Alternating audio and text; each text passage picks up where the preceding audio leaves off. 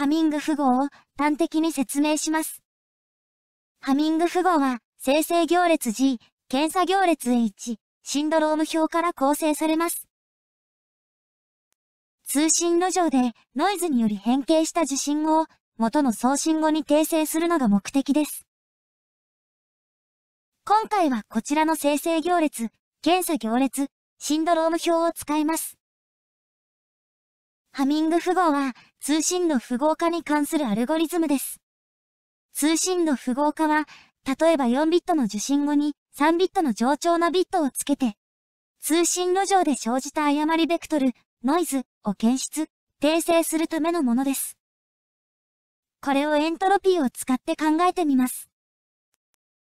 通信路上でノイズが乗ることを送信後がいくつかのパターンに分岐すると表現します。この分岐により、サンプドと曖昧度が定義できます。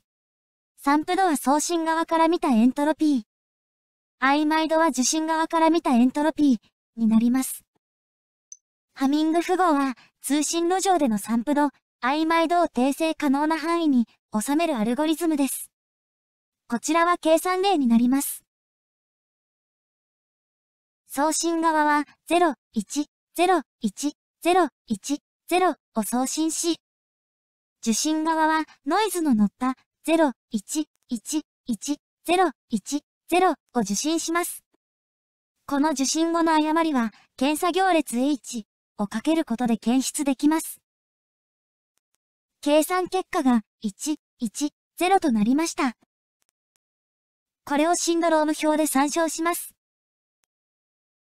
誤りベクトルが正しく検出できました。